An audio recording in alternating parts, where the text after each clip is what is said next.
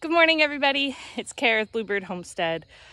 It's a gorgeous morning to do a little walk around the garden. There's lots of new flowers and vegetables in the garden that I'm excited to show you guys today. If you're new here, my name's Cara. We're gardening in zone 7A in Virginia, and this is our raised bed garden here behind me. I just did a full garden tour video earlier in June on our channel. I'll link that in the description where I went through pretty much each individual plant. So today I'm just gonna give you guys updates and do a little walk around showing you things that are changing.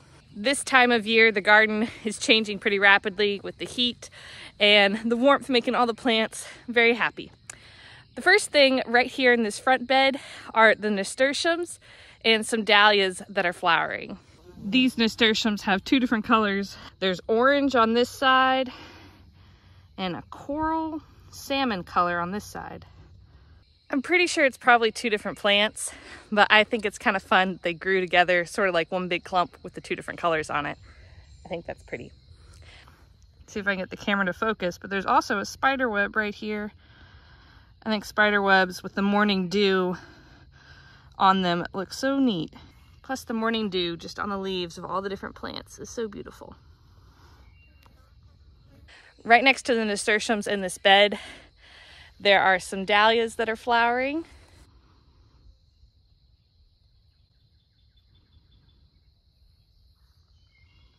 There's lots of new buds coming onto these dahlias too. I really like this kind of almost daisy shaped dahlia. I think it's called a collarette dahlia with the sort of rounded edges. I think it's really cute. The rest of my dahlias are growing nicely in front of them. Some are definitely bigger than others, but that probably just has to do also with variety as well. Across from this bed where we just were, I have dahlias planted all along the edges and some of the dahlias even have a few buds on them. So we should have lots of flowers here soon. I talk about it a lot, so I'm pretty excited if you can't tell to see just this whole front L-shaped bed covered with dahlias. But we don't have to wait for other flowers because there are some other flowers blooming in the garden too. Over here next to the nasturtiums, my hollyhocks is now blooming.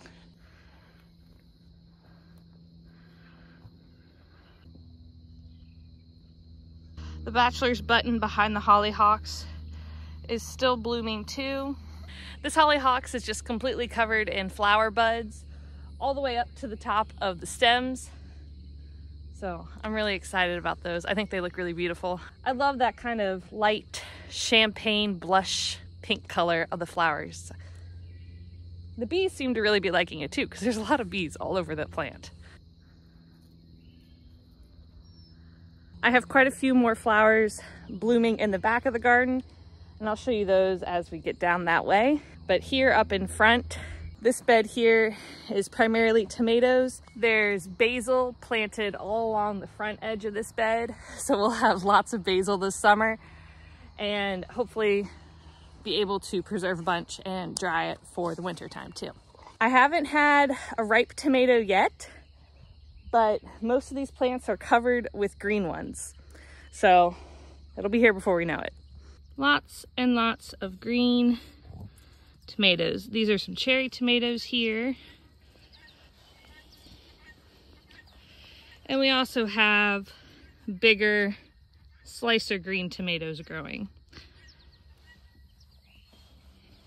I have a lot of different tomato varieties growing and I figured I'd wait until they're all ready to be picked and then I'll show you all the different varieties and line them up so you can see the color of the fruit and get a better idea of what each variety is. The beds of strawberries beside the tomatoes are pretty much done for the year. These are just June bearing strawberries. They're not ever bearing.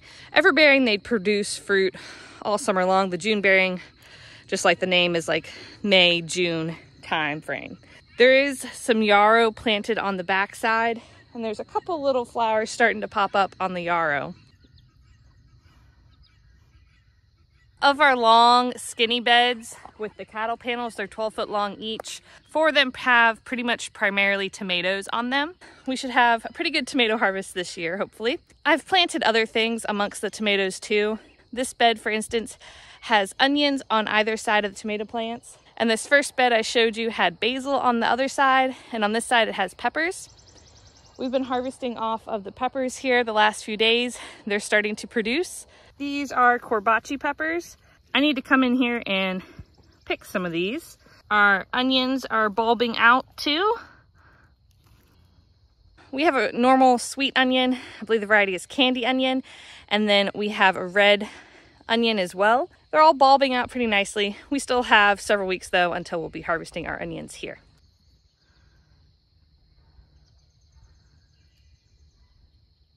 This bed here to the left has tomatoes about three quarters of the way down the bed. And then at the very end, we have some cucumbers. There's even a couple little cucumber fruit growing. Across from the cucumbers, these are tomatillo plants, or tomatillo. Lots of flowers all over them. Something has been nibbling at them though. There's lots of holes in the leaves. But the plant still seems to be growing and not minding it. We don't spray or use any chemicals in our garden. I just kind of let the plants fend for themselves, honestly. I mean, I will come out here when we get like squash bugs and things and squish the eggs and pull off pests that I see manually, like tomato worms and stuff like that. But we don't spray anything. And the fertilizers I use are all organic. Compost, I think, is the best thing you can put on your garden but I also use Bio-Tone starter fertilizer by Espoma when I plant the initial plant in the hole. And then if I see deficiencies, I'll try to come in and amend those uh, with fish fertilizer or something else like that. So even though there's holes and some bug damage on those plants, I'm not gonna worry about it. I'd rather the plant die than eat stuff that's been sprayed by a lot of things. If you spray, I'm not going to come after you. I just prefer that my food doesn't have any junk on it. And that's one of the great things about gardening is that you know exactly where your food comes from and you don't have to worry or question about how it was grown. I have to mention these sunflowers behind me. They're taller than I am now. It seems like just the other day in the last garden tour, they were like down here. They have doubled really shot off in size. There's a couple little flowers starting to form. These sunflowers are just a mix of seeds that I saved from sunflowers that I grew last year. It'll be interesting to see what varieties I ended up planting because I'm not 100% positive what I stuck in the ground.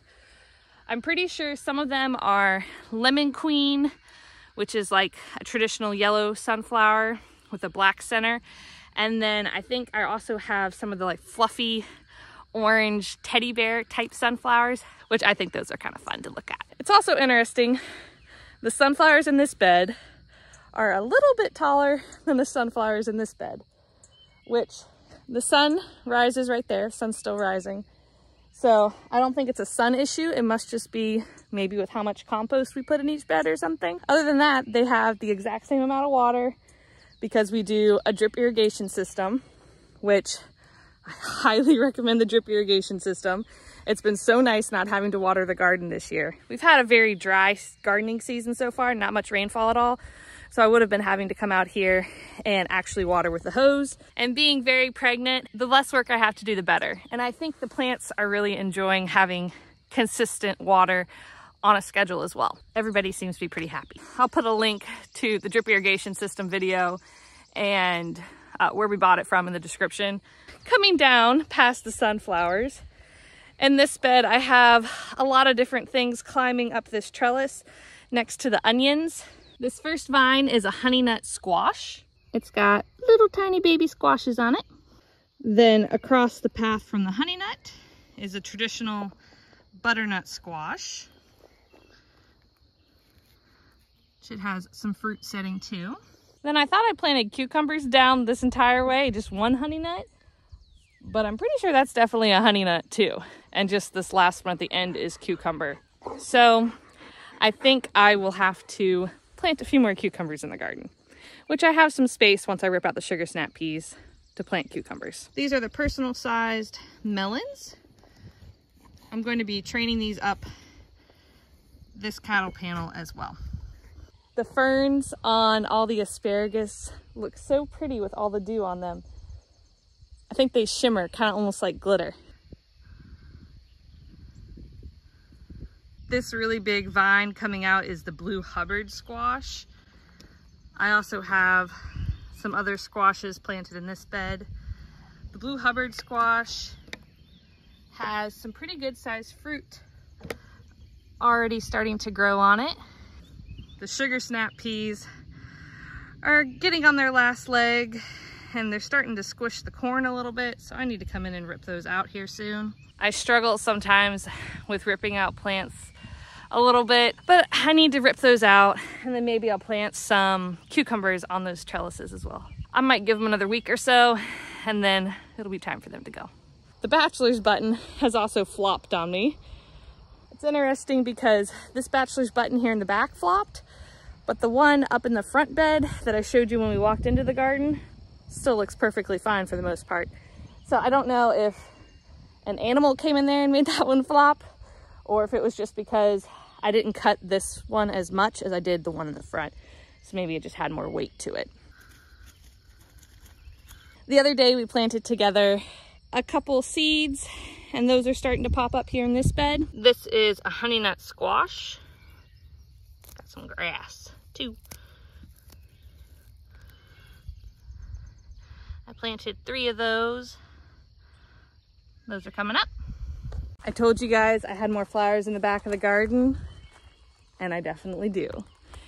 Can you see all those pink frosted salmon poppies?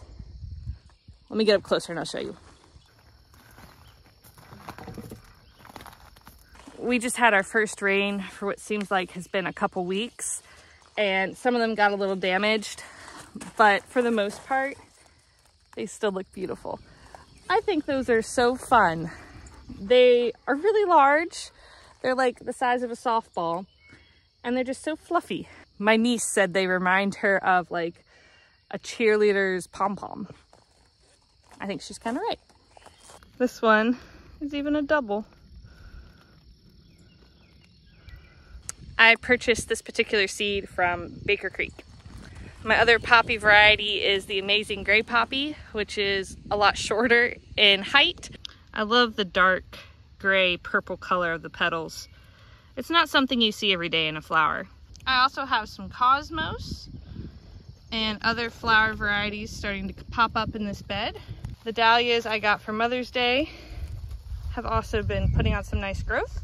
The arched panel with the purple podded sugar snap pea uh, is kind of dying back. It's been producing some pea pods, but not as prolifically as the Sugar Ann sugar snap pea, which is what I have planted all along the back side of the garden. Underneath these peas, I have a bed of potatoes. Those just recently started to flop in the rain that we got last night. I need to do a little test dig and see if they're almost ready to be harvested. I think I'll probably wait at least another week on that though. The Pro Cut sunflowers are a couple feet tall now. And I do have a couple other little flower varieties starting to produce some flowers. This is Gomphrena. And I have some celosia and blue African disc daisies starting to open up. Then the next bed across has lots of flowers growing. So these are Pro Cut sunflowers, Cosmos, which are starting to put on little buds, and zinnias. Now, I do see some Japanese beetles on these zinnias. I'm gonna have to come through later and pick those off, give the chickens a treat, but we do have some buds starting to form. In this bed here, we have some zucchini forming. The zucchini has lots of flowers on it, but it also has some fruit on it too. These zucchini fruit are maybe three or four inches long. This is the tigress zucchini. And I already see some squash bug eggs. They've already found the zucchini plants, so that's another job. I need to start coming out here and picking off squash bug eggs. The green beans on the arch panels are starting to climb up. Whenever one starts to flop down, I'm trying just to come in here and get it headed back in the right direction.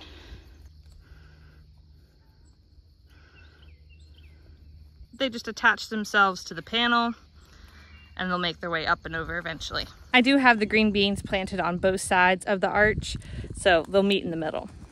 I'm excited to see this tunnel this summer filled with green beans. I think the arch tunnel is really beautiful when it's all covered in plants. So I'm excited to see all those green beans growing. Plus, yummy green beans. I definitely love harvesting and being able to enjoy the vegetables and fruit out of the garden, but I also like it to look really pretty too. We've got some red Russian kale and lots of different lettuces doing pretty nicely in the garden right now. The broccoli's also been doing pretty well this year. I have some more out here that looks like it's ready to be harvested. I need to take care of that in the next couple days. I also think there's some cauliflower over here that might be ready to be harvested too. It's definitely been a gorgeous morning to walk through the garden. I like coming out here in the mornings before it gets too hot in the middle of the day. And plus I love the way the sunlight and the dew look on all the plants. Thanks for hanging out with me today. And I hope you guys have a great your day. Bye y'all.